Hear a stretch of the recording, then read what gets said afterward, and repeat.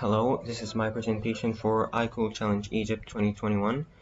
My name is Karim Asom from Alexandria. I've participated in VexIQ Crossover 2017 and VexIQ Ringmaster 2018, RoboCup Junior Egypt 2019, and EOI 2019 and 2020.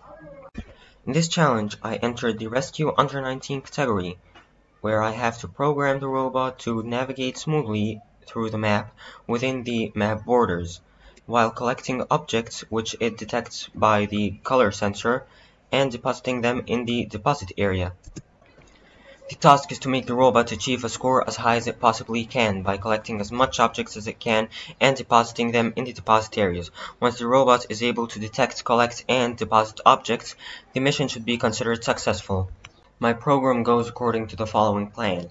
First of all, it checks if it's standing on a super object and collects it in case that's true.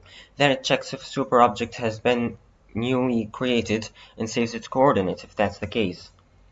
Then it resets the loaded object's value when it's in the trap or after depositing objects in the deposit area to avoid possible glitches.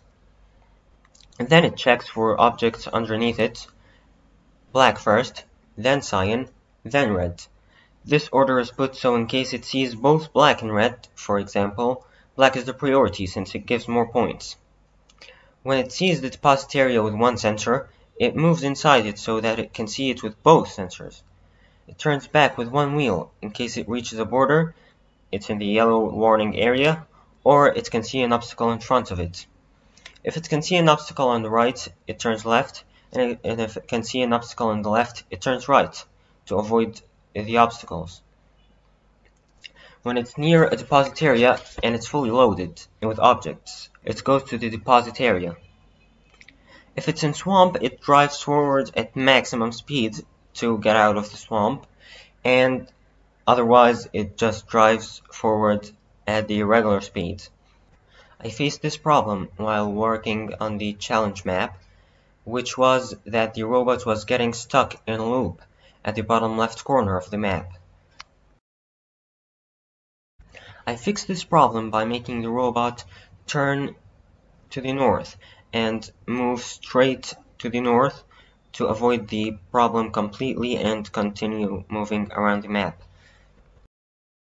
I've learned to adapt as much as possible to the programming language's limitations and available hardware components uh, for example, when uh, I wanted to collect super objects, I wanted to make the robot detect the super objects completely based on positions, xy coordinates. But, however, due to that the program did not allow me to create arrays, only single value variables, I was not able to save multiple super object coordinates at the same time so I had to also make this uh, based on the color sensors. That has been my presentation for the iCool Challenge Egypt 2021. Thank you for watching and goodbye.